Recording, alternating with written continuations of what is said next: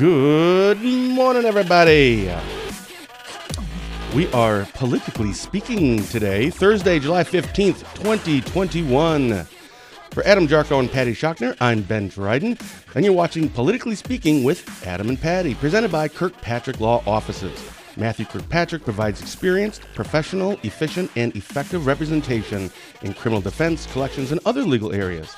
For more information, you can find Kirkpatrick Law Offices on Facebook or simply go to mzklawyer.com, mzklawyer.com. Uh, special thank you to former 75th Assembly Representative Romaine Quinn for being my co host on last week's Breakfast with Tiffany show featuring Congressman Tom Tiffany. In case you missed it, you can watch that on our website, our YouTube uh, channel. Just go to YouTube and just search for DrydenWire. You'll find it in there. And next Thursday, I will be back for. I'll be back with Rebecca Kleefisch. I think that's her third time that she'll be on uh, for a show, the former lieutenant governor, and let's face it, likely going to be the candidate for Republicans, I think, maybe, in the governor's race. and then two weeks from today, the senator from the 25th and current Senate Minority Leader Janet Bewley will be jumping on to wrap up our Thursday political shows for July. But today, we're politically speaking with Adam and Patty. Patty, we'll start with you. Good morning. What's new with you? Good morning. Uh, just getting off a, a pulse increasing basketball game, watching the Bucks last night. Uh, it was a great game, just back and forth, back and forth. Uh, just what competition's all about. Loved it. My mm. husband and daughter were there at the game, what? so they were like, yeah, yeah, they were spazzing, just totally spazzing. That's they loved awesome. it. and that, so it was a fun night. And last I so uh, it's kind of like this uh, standard or perception that when it comes to basketball, it's a best of seven series. It really doesn't become a series until one team beats the other team on their court. Phoenix won the first two in Phoenix. Milwaukee's now won the, the last two in their court. How does this end, Patty? Uh, by the way, Fitzy and I had a little bet on this, not money wise, but he says Milwaukee will win in six. I say Phoenix in seven. What do you have? I'm I'm going with Milwaukee in six. I really am. I think oh it's uh, so fun. I'll be accepting yours and Fitzy's apology in a little over a week from now. um, Adam, good morning. Uh, what's going on with you, man? Good morning. How are you? Fantastic. We're doing the show. I love it. how, how, have you been? Good. I've been good. I've got uh, projects going on at the businesses, trying to take advantage of the weather and um, laying a whole bunch of sod at one of the businesses today that we're doing a little patio project at. So as soon as I'm out of here, get on your get on your work shoes, Ben, and come join us in laying some sod. Yeah, that's not going to happen. I, I, don't. I don't do manual labor. No. No, not at all. Well, we have a ton of things we want to get to.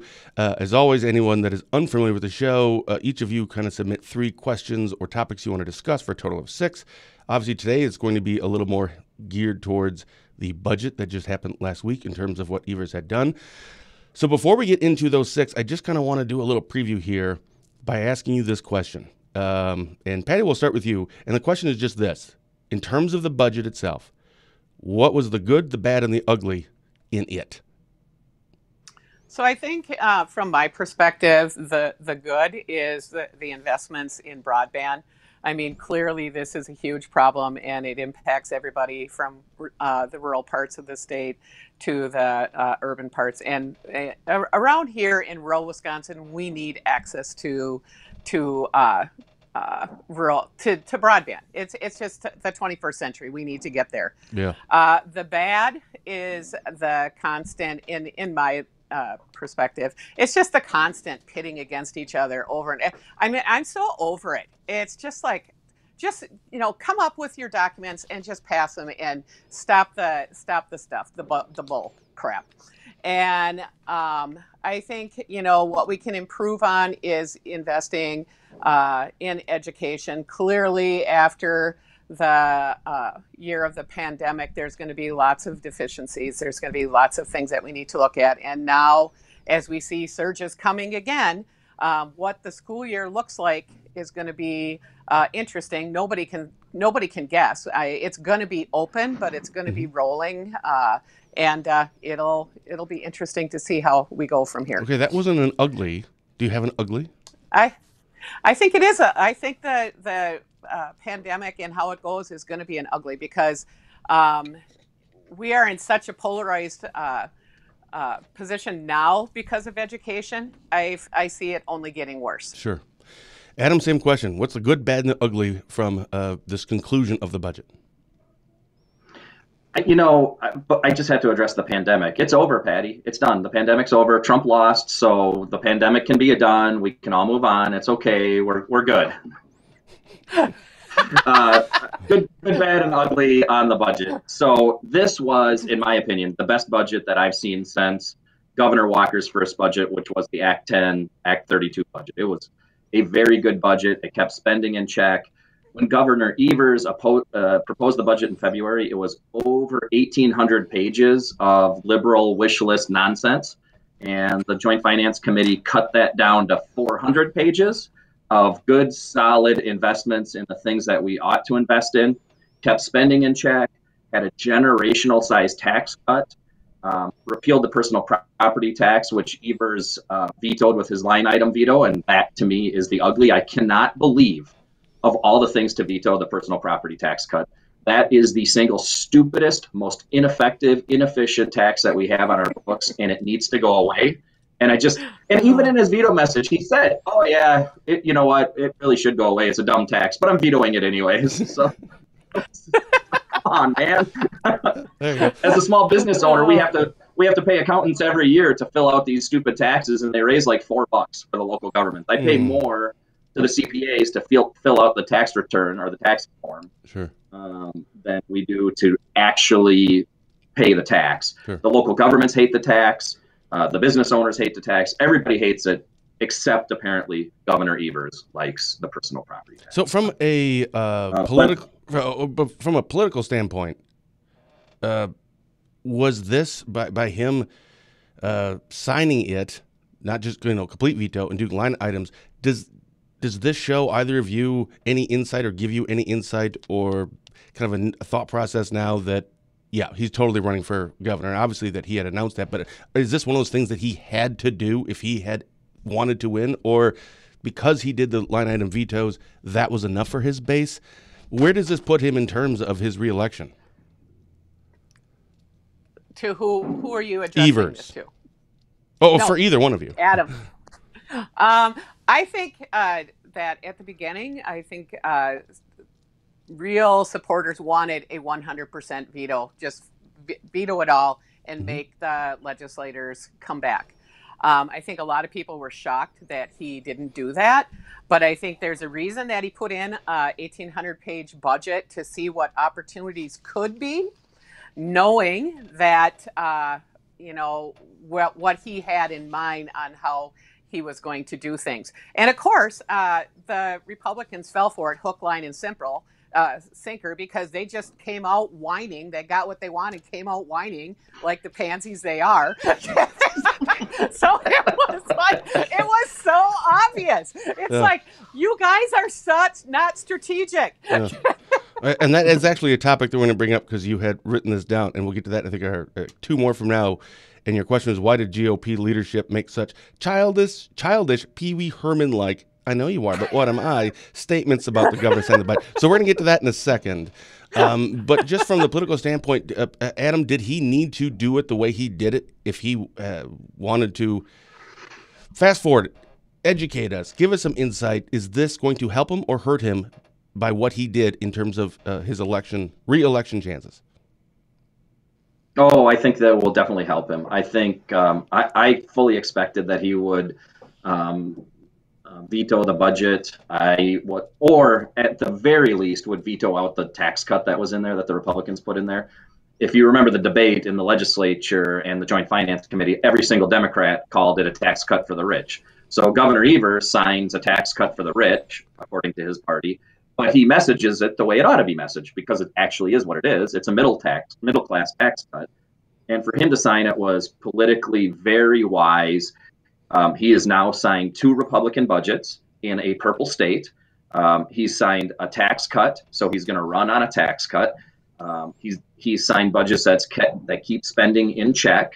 that increase spending for education. So all of these things that he wants to run on are in that budget, and he will be able to run as sort of this, you know, middle of the road uniter. He doesn't have to win a primary, so he doesn't have to.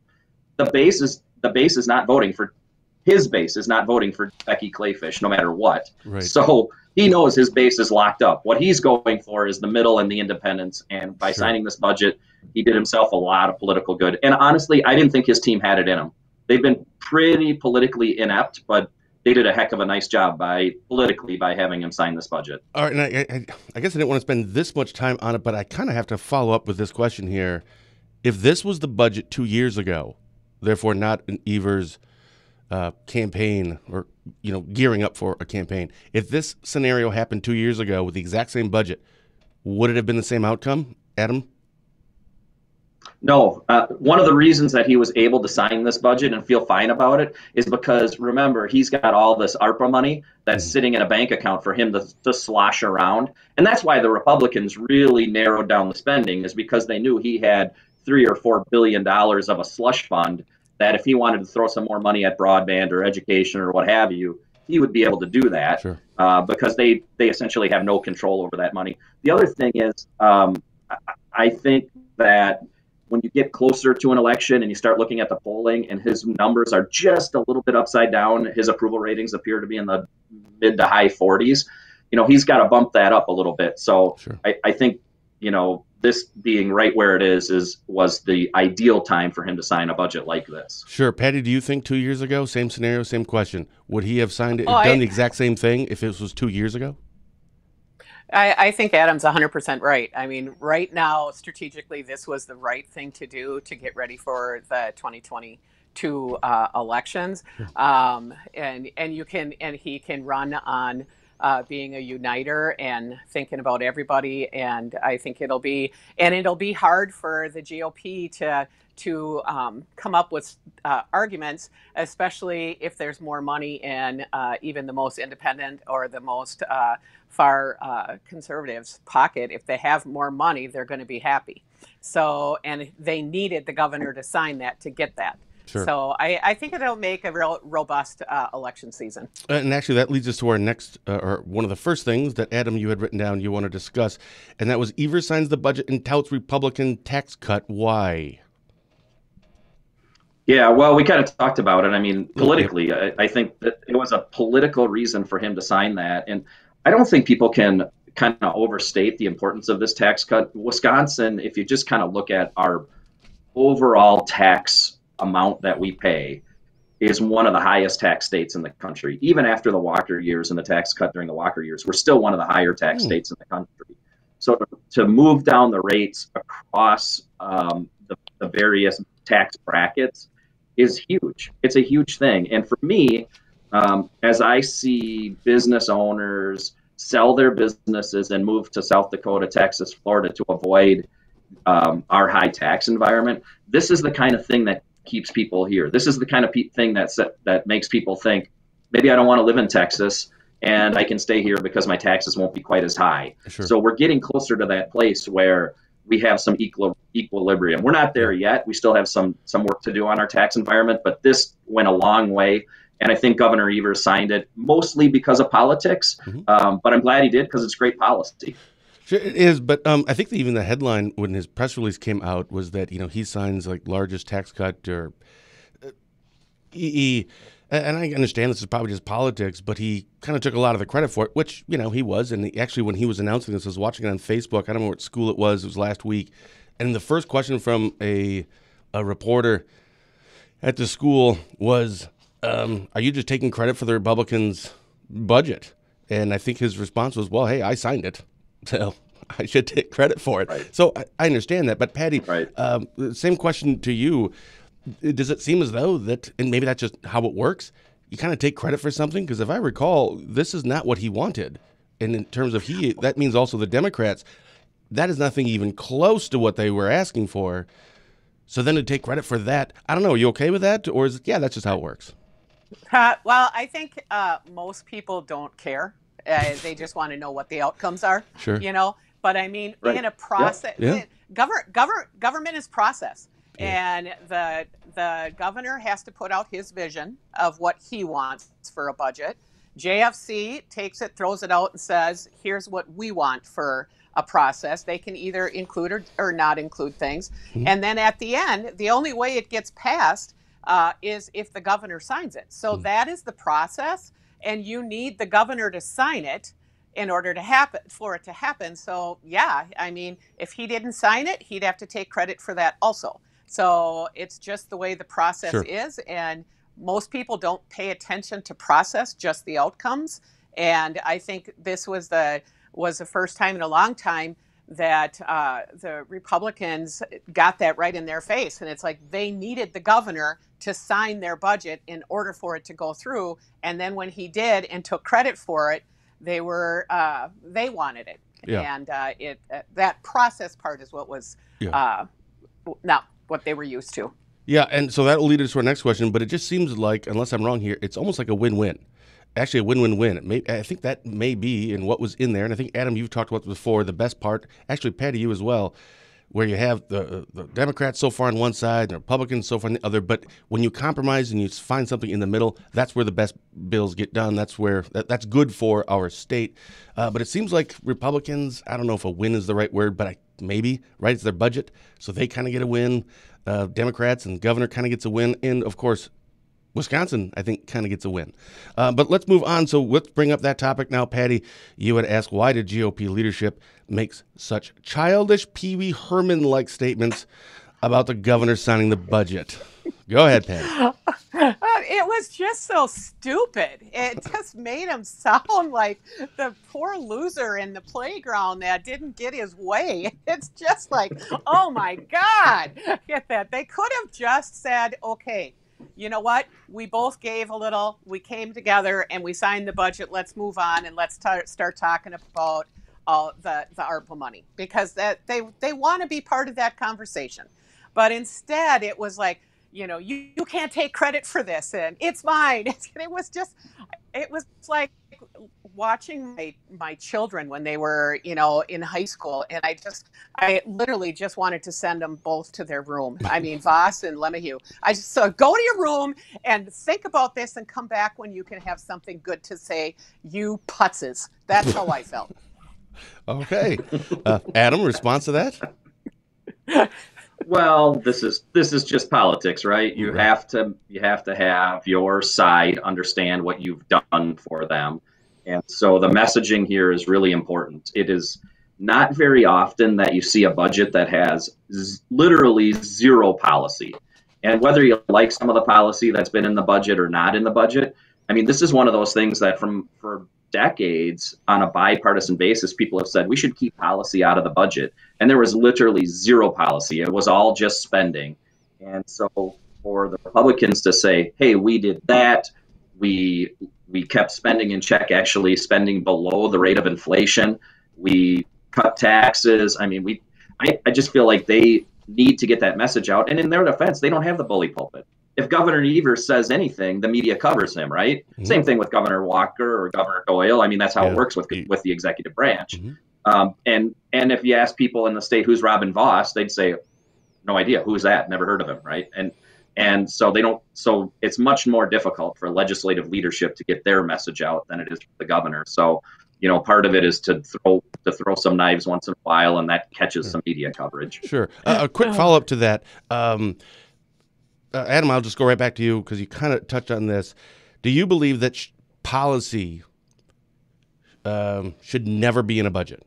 Or am I asking that right? Or should? Or are you okay with that? Or like 100%, no matter who's the governor, Republican, Democrat, who cares who's controlling the assembly or uh, who's the power there? Uh, should policy be in the budget? So I situationally believe that policy should not be in the budget. If your guy's oh, in, yeah, yeah if, if, it's the policy, if it's the policy I like, then it's good. Okay, makes sense. I'll, I'll, I'll give you an honest answer. So. Okay, I think that was an honest answer, but okay. when when I um when I was in the legislature, my view of the world was the people of the 28th hired me to do a job, to get stuff done. And if that required that I had to say I'm a no on the budget unless I get this, that, or the other thing in there, then that's what I would do. And so I don't know if that's the right answer, but it was certainly the answer that I had. So Okay. probably in a perfect world, policy shouldn't be in the budget, but in the political world where it's really hard to get anything done, and if this is your one opportunity to get something done that's important for your constituents, you know, I just said, well, whatever. I guess I'm not a perfect guy, but I'm going to try to put this in the budget. Sure. Patty, same question. Well, the reality is it's not about the constituents, it's about the Wisconsin Manufacturing Group. And they have a lot of oh, policy. Lord. And that and the, all the big money and all that their stuff and they've they've uh, you know helped the republican party so much that so they need to you know get on their knees and give them what they want so that's Oh. what they're doing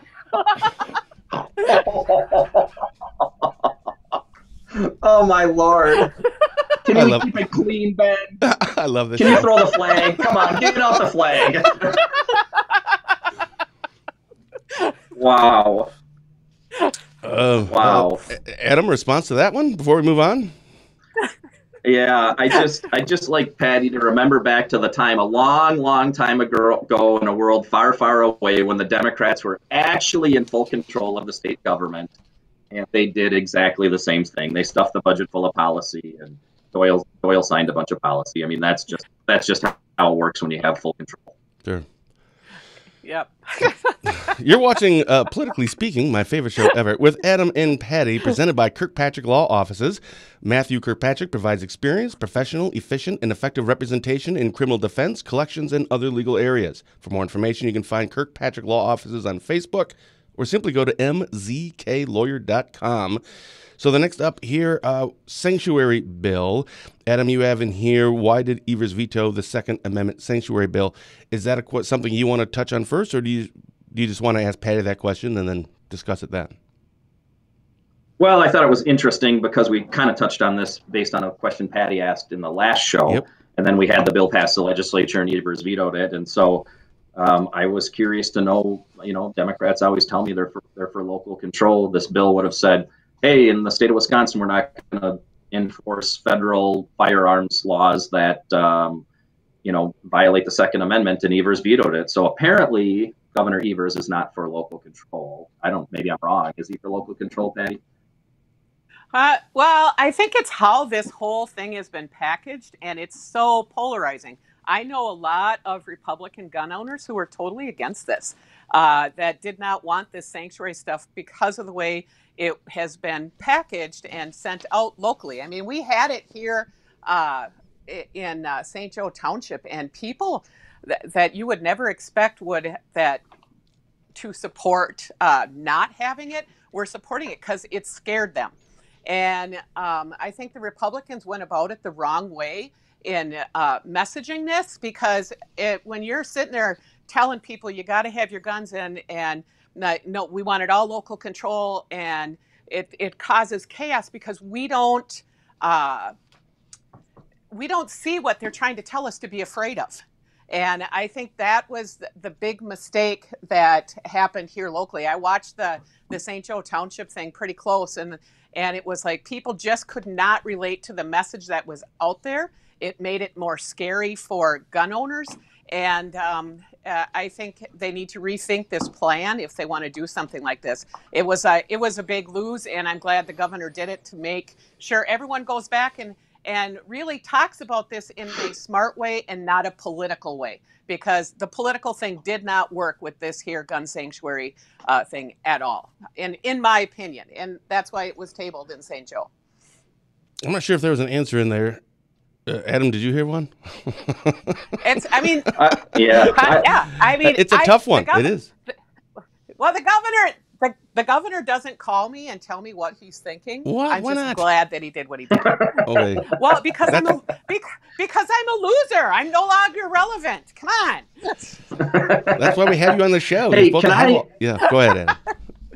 Can, can, can I hijack your show for a second? I had a Oh, really right. interesting discussion on, on a policy issue that is a vexing policy issue um, with, with a group of folks, people who are really trying to figure out the right way to do good policy, what, what people, some people think is good policy, and how to message it. So there's this issue of felons owning firearms. And we have a lot of people in Wisconsin who had a felony when they're 18, 19, 20. You know, they distributed some weed or something, and now they're 50 years old and they still can't own a firearm.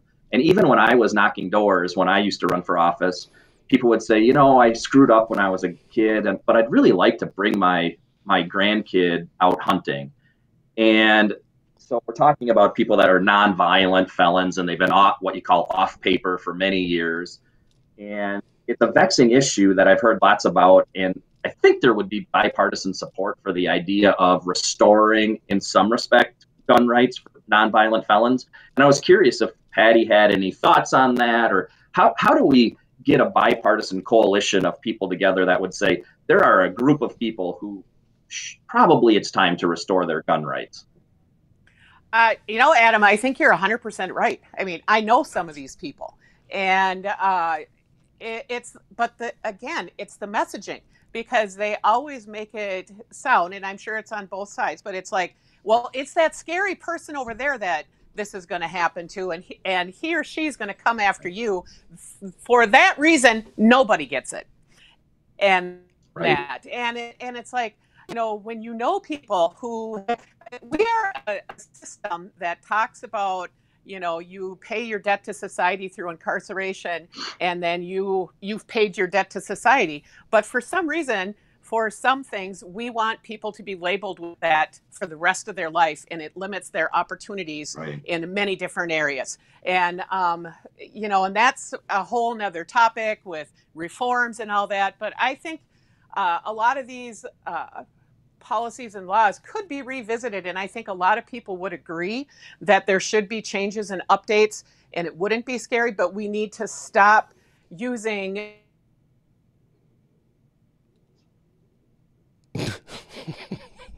I'm, taking a screenshot of that real quick. oh, I missed that's, it. That's where we are right now. No, but I, I mean, it, it's like it. This here, this here topic could be a come together topic if we used intellectual conversation instead of fear. Is that something that could get done in Wisconsin, or is that a federal thing? I, I, I literally don't know anything about it. I don't own a gun. Hate guns. People should own them and go hunt and kill and whatever. That's fine. I mean, like animals, not you know, people. Um, so it is a Wisconsin thing. That is something that could get done in Wisconsin. Yeah. Do you think it uh, that'll ever be a thing? I, I think there's a growing bipartisan consensus on what you might broadly call criminal justice reform. That there are some things that we have done in the past that doesn't that don't make sense. This is kind of a small piece of a bigger picture. So um, I don't know if it would be part of a bigger reform package or if this is part of part of just you know one thing that you would do. But I, I, I just I've had this sense that there would be some support for this. But I think Patty's right that it would also be demagogued by some people, you know, particularly in, for example, in an election season that says, oh, you know, candidate X isn't in support of giving, you know, felons, violent felons the right, and it wouldn't be for violent felons, right? It'd be for non-violent offenders that have been off paper for so long, but it would get demagogued, I think, and that's oh. that's the fear of people who run for office is if they get behind this, then it's going to be a TV ad somewhere someday. Sure. Mm-hmm. Yep. Yeah, and and that's really unfortunate because there, there's a lot of good work that could be done if uh, part of the fear wasn't your reelection. You know, if you just worked right. on good policy to get stuff done and weren't worried about reelecting or getting reelected, you could get a lot more work done. Yeah, and that is a topic for another day, but no kidding, I want to have that conversation. That would be a wonderful show talking about the campaign side of it and how that affects bills and mm-hmm. decision making. Boy, we could do a deep dive on that. I would love it. But we need to move on to the next one here, and this is from Patty. And your question was, why are vaccines becoming such a hot topic? You had a little bit more in there, but I can't find that sheet. So, vaccines becoming a hot topic. Patty, go ahead. Here we go. now I'm taking a screenshot. and Adam will go to you.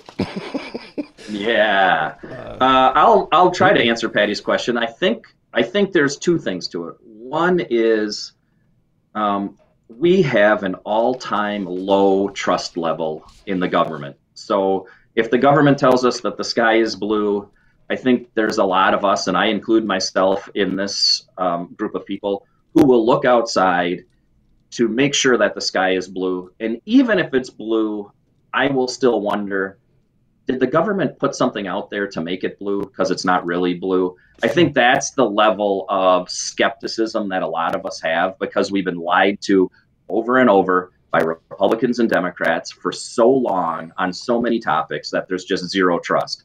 Then you add into it a pretty rushed process for vaccines, not fully approved. It's kind of, I don't know what the technical term is, conditional approval or mm-hmm. whatever. Um, you add into it, you kind of have one political side of the aisle that is making a much bigger deal about COVID than the other side of the aisle. And you have a recipe for, I think, a lot of dissension and discussion about this vaccine issue. Um, one thing, one issue that I think is interesting, I saw some polling recently, and you know everybody says, "Oh, it's all these you know Neanderthal Trump people that won't take the vaccine." It actually really isn't. The the group the group of people who are least likely to have been vaccinated, at least according to polling, are people who are not really politically connected to any party. They're sort of in the middle, don't pay much attention to politics, are sort of politically unplugged, are the most likely. And then really the Republican and Democrat side of, of the kind of anti-vaccine breaks down similarly. You might see um, uh, uh, Robert Kennedy is, of course, a very liberal Democrat, and Robert Kennedy Jr. and sort of on the far left, and he's against the vaccine and talks about it all the time. And then the far right is against the vaccine um, and, and, then you have kind of this politically disconnected group that's against it. But I think, you know, um, I think that's kind of the recipe for it. And of course, the media adds to it as well, right? I mean, you you guys in the media, you love to get clickbait out there, so I blame it mostly on you, Ben. Thanks, buddy. I appreciate that. so we were just, you know, uh, I swear we weren't making funny at all, Patty. but don't go back and watch uh, the yeah. replay of the show when we're finished. so uh, we're back to you now. So he was just talking about vaccines and pretty much saying how you're wrong on everything all the time, um, including this topic. So uh, it's back to you. Uh, why are vaccines, do you believe, becoming a hot topic again? Again, it's like everything else. It, everything has to be turned political. Um, and, you know, when it comes to the the whole topic of vaccines and what's going on right now. Um, you know, you look at Missouri, and it's it's a hot mess, and 90 plus percent of the people in the hospitals are unvaccinated. 100% of the people dying of the, the Delta variant are unvaccinated. So it's and 85% of our senior citizens are vaccinated, which means that the people that are getting it are younger and uh, it's it's just a recipe for a disaster that is 100% preventable. And I know I'm vaccinated. Uh, I don't know about you guys, but I mean, I want to travel. I want to go and do things. I, uh, that, that, but you know, I have 12 grandchildren, and five of them are under the age of 12. So even though my whole family is vaccinated, the littlest, most vulnerable ones are not and are up to, you know, they're dependent, just like my uh, people were dependent uh, on other people with. Uh, last year with the elderly now it's the the new vulnerable uh, population is younger people and it just worries me um, you know i know what it was like to lose someone to covid and there are a lot of people that will say well you know he was old and and he had pre-existing, so it was to be expected. Um, I, it's it's it's not true, and um, I know people that have gotten COVID in the last uh, two months this, since the summer, and uh, you know one of them was in the hospital for almost 70 days.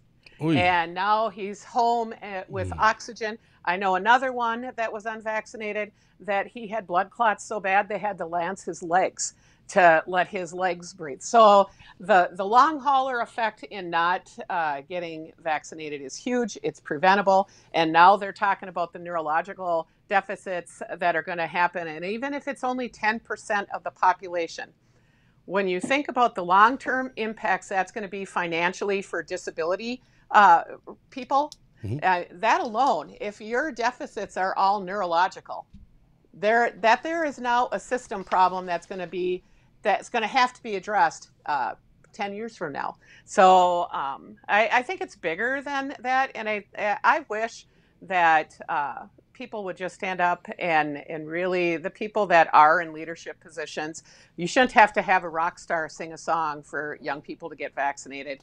Um, we shouldn't have to have um, middle-aged people who have been va- their parents had them vaccinated because their parents and grandparents lived through polio, measles, mumps, and all that their stuff.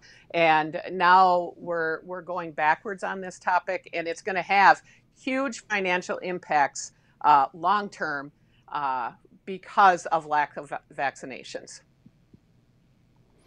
Uh, Adam, any response? Yeah, uh, two things. One, I think saying that kids are vulnerable is just flat out wrong. The the data is very clear that young kids have literally zero vulnerability to COVID. I mean, statistically, zero kids have gotten um, very sick or died from it. Now, you might say, oh, there was this kid here or this kid there. That's still statistically zero young kids. So I actually think, and I, I've had the vaccine, the J and J vaccine. Um, but I actually think vaccinating kids is beyond idiotic, and we should not be doing that to kids. This is a vaccine that has not gone through the full testing process. Um, I would not, at, in, under any circumstances, vaccinate my eight year old kids against COVID because they're at zero risk. And I'm okay taking whatever small risk there is for the with the vaccine for myself and you know but for kids definitely not um, and the other thing is, I think this is what happens when we politicize things, when we politicize public health. And that's what happened through COVID. And that's why when we started seeing this shutdown nonsense by Democrat governors, and then the rest of us had to dig in, it automatically makes it a political issue. And we never should have done that. And I think this is, we're still, we're still seeing the effects of turning COVID into a political issue. Um, the last thing I would say is Democrats tend to take it far more seriously than Republicans. I think most of us, you know, I, I have changed my life 0% um, over the last 18 months. And I think most of my friends have changed our lives 0%. And yes, we've had some friends that have gotten sick. And yes, we've had some folks that we know that have actually passed away. I've got a really good friend that has been in the hospital for a long time and he's just coming out of it from COVID. So we understand that there are some serious consequences from it. On the other hand, we have to live our lives too. We can't just shut down the world because of something like this. And I think the the response by the political class was so screwed up to this that it has caused so many people in the country to just be turned off by the whole. Mm. Well, we've talked about that before many times, Patty, and you, you I, and Adam. I like, I like, I like to push back a little bit on that. Um, and really, uh, when you think about schools, you know, they were, you know, in and out of schools and lots of different choices and fully masked during the education process. So statistically, it's like a no-brainer that kids didn't get COVID. I, it, it, just doesn't. That, I mean, that's so that's so simple. Um, when we talk about science, though, um, you need I mean, my dad, when he was uh, diagnosed with myasthenia gravis, and this was long before he had any other things, he signed up for experimental uh, programs. He literally had his blood washed. They took all his blood out of his body, washed it, put it back in his body, and knowing that he would get a critical infection, he went through that process three times because he believed in science. Um, my uh, brother in law had lymphoma. He went through stem cell uh, treatment long before it was common practice. And without him stepping up as a 19 year old, as a freshman in college, saying, you know what, you can use my body so that other people will live. And because that's what science is about. Science is about learning as we go and then figuring it out. And this whole uh, type of thing, uh, this argument not to utilize science, parents use science all the time with a hope that their child will will um, survive a lethal disease. And this this argument if is one of those things that you don't get it both ways.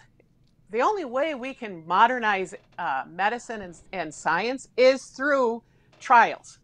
And there are things that go bad, and we all know that. But if you believe in science, then you're going to reap the rewards of it. And I think for those of us that are vaccinated, and that have done everything that we can to make sure that everyone close to us is vaccinated.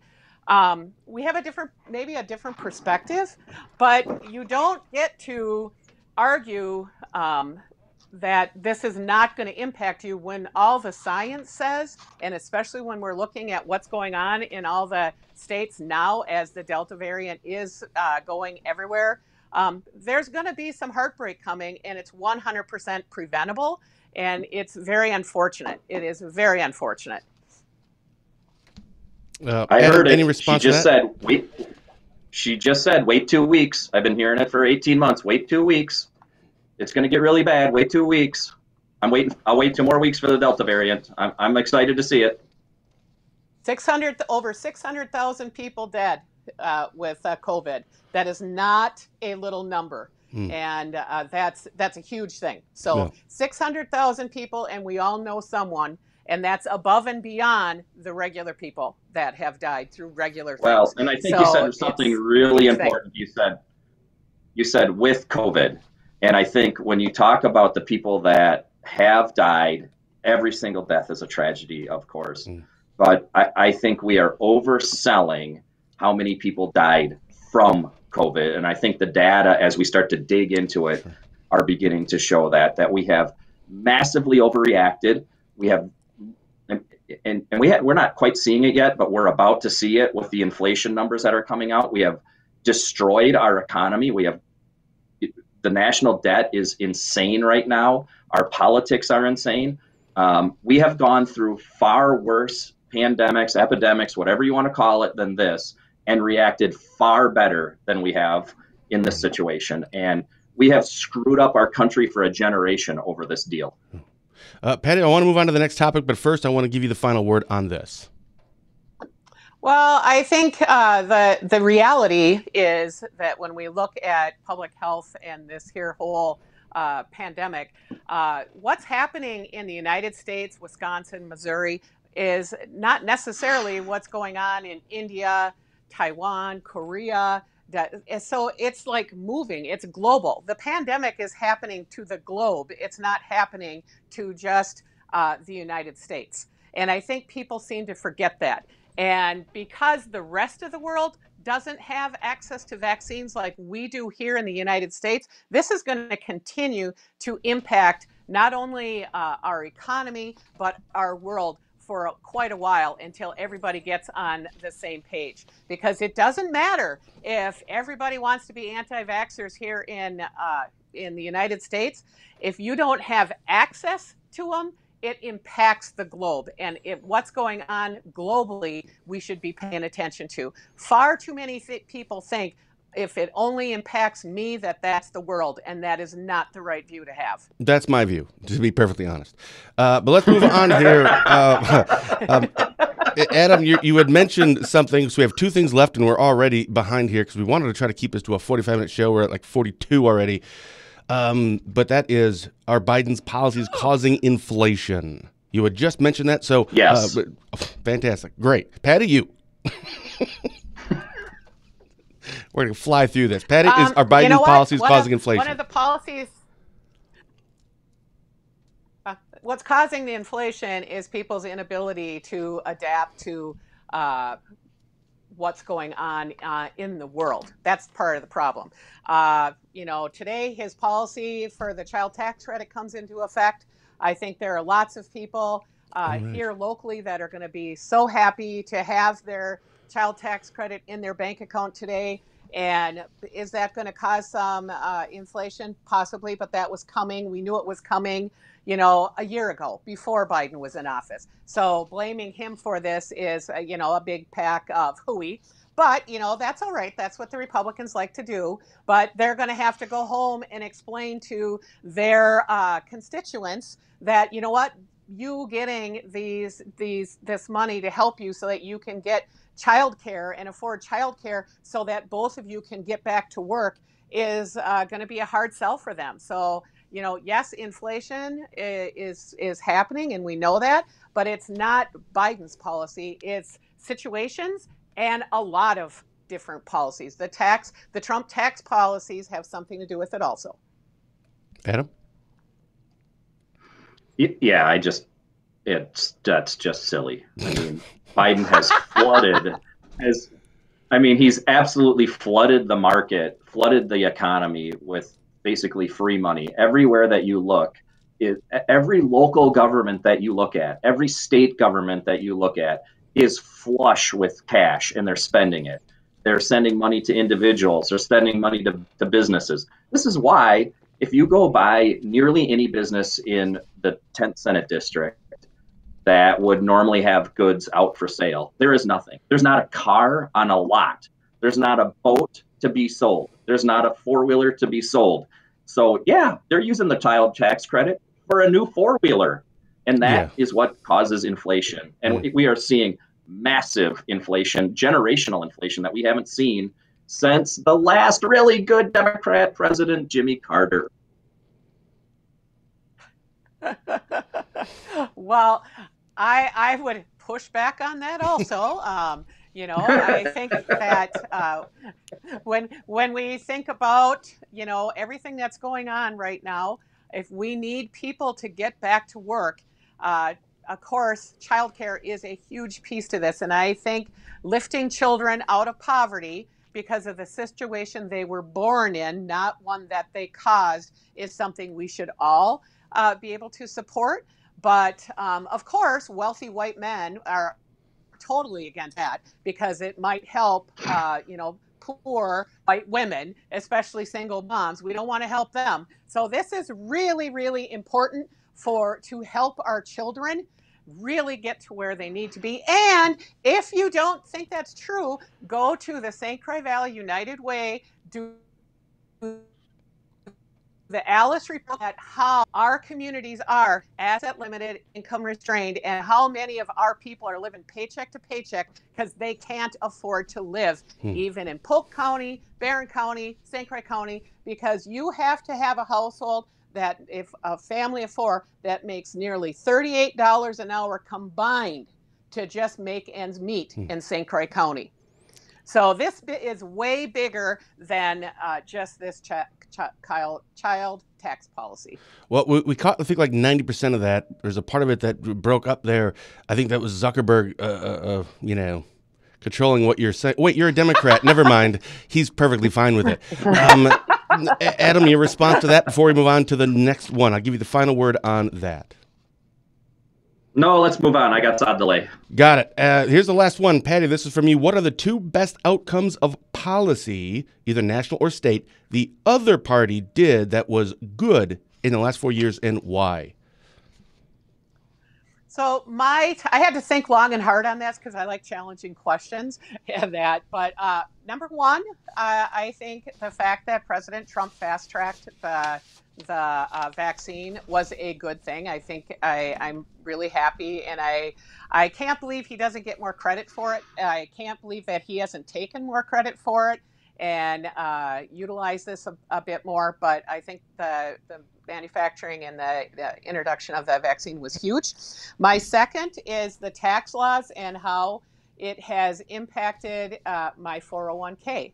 Uh, only 39% of the people in the United States actually have 401ks, and it's because of the policies uh, that, uh, you know, we have a very robust uh, 401k. So even though you might not think it, I, I do, uh, and I am very grateful to be in a position uh, of privilege that uh, our 401, 401ks are going to enable us to have a good retirement.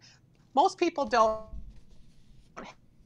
have that, and it is t- for a real liberal that place to be because I'm grateful for it, but I do feel uh, some guilt in uh, having that financial flexibility. Okay. Adam? I can't think of any, but I will say that Patty, oh! you are not in a Patty, you are not in a p- place of privilege, and it drives me crazy when liberals say that. Your husband worked his tail off his entire life at that hot factory. You've worked your butt off your entire life. That's not privilege. That's the American promise. When we wake up, play by the rules, and work hard, we have success. And so when you're out there whining about, oh, they can't make $38 an hour as a family, give me a break. That's $17, $18 an hour per person. I, you know, if you work hard and play by the rules, you will have a 401k, you will have a retirement. If you follow the simple, time tested rules of get married, have a job, buy a house, you're going to be just fine because this is America. And to say, oh, I'm, I'm just so privileged. No, you're not. You worked hard for it. such a he's such a Republican. He can't even even it's like he totally Nope. totally fell totally fell for the whole hook, line, and sinker. Yep, Yep, can't get any credit. And this is exactly why we have the polarization that we have in uh, this country. When we can't even come together and just go, you know what, this here is really a good thing, and I'm I'm really happy about it. Um, this is why we are where we are.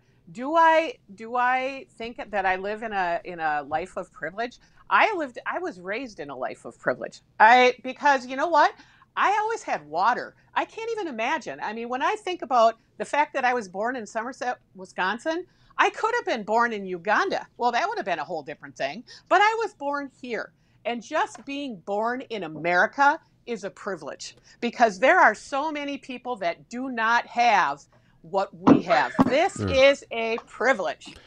So basically, everybody born in America is privileged because Uh, we uh, we they have live water? life a lot differently. Clean water without without Yeah. water. I, What do you got? I, I totally get it. I What guess we just have different definitions, different definitions of what privilege would be in this scenario. Yep. Uh, like my wife and I, she huge. she works hard, uh, uh, uh, has a full time job. She you know went to college or went to you know get degrees in something, whatever. She's been at the DA's office, I think, for like ten years. I, I run a small business. Uh, neither of us make a ton, uh, but together, you know, we have kids and we have a house, and you know we do fine. Um, I don't know if we're you know privileged or not. You know, we don't make 150 grand a year. Good lord. Uh, but we're doing fine, and but I always remember what my dad told me: it's not what you make, it's what you spend. Uh, and I've always remembered that. So even through COVID and everything else, uh, we always have money saved away 20 bucks here, 20 bucks there. It adds up. We're just trying to be smart about it. But don't kid yourself. I think we're probably going to start getting that child tax credit, and we're totally not going to be using it for our children. We'll probably just get a four wheeler. All right. Uh, last, wor- last words. Um, Adam, last words. I am so pleased to see a Democrat finally say something that's pro America and pro American. Patty was so ah. 100% right. Being born in this country is the, I mean, Yeah, that's great. in this time, in this country, to be born right now in this country, I mean, you're better off than 99.999% of the history of the world. If you're poor in America, probably you still have food, probably you still have air conditioning, probably you still have a TV, probably you still have transportation. And access That to has free not been the education. Right. Yes, that has not been the case uh, historically. We are so lucky, and we are lucky because of this wonderful, awesome country that we live in. And I'm so glad to hear a Democrat say it. And good job, Patty. Good job. Oh, for God's sakes, Jesus! Uh, Patty, last words. Oh my God! Uh, you know what? I am. I I have. I've always been a proud American and a proud Wisconsinite, um, and always will be. You know, my dad served. My uh, sons served. I have one that's serving right now. Just started this week in his new job as a chief petty officer. Excellent. Um, you will you will Mhm. not see uh, a more proud uh, mom than this one here, and a more proud American. Mm. That's how I was raised, um, and I think that uh, a lot of us need to just really uh, t- take a step back and just really appreciate who we are, where we are, and that we do have the freedoms to say things, and we do have the freedoms to you know agree but you know what own your words own your words and and just move forward i i am really really so great Yes, screenshot, screenshot, screenshot. Got it. and she's gone. All right, well, that was it anyway. So sorry, Patty, that was the last word. So uh, we're wrapping up right now. Uh, Patty, when you hear this later, thank you for being on. Adam, thank you as always. Uh, you've been watching Politically Speaking with Adam and Patty for a while, presented by Kirkpatrick Law Offices. Attorney Matthew Kirkpatrick provides experience, professional, efficient, and effective representation in criminal defense, collections, and other legal areas. For more information, you can find Kirkpatrick Law Offices on Facebook or simply go to mzklawyer.com. For Adam Jarchow and Patty Schachtner, I'm Ben Dryden saying thank you for watching, and we'll see you next month. Until then, stay safe, stay positive, and have a blessed day. See you, Adam. See ya.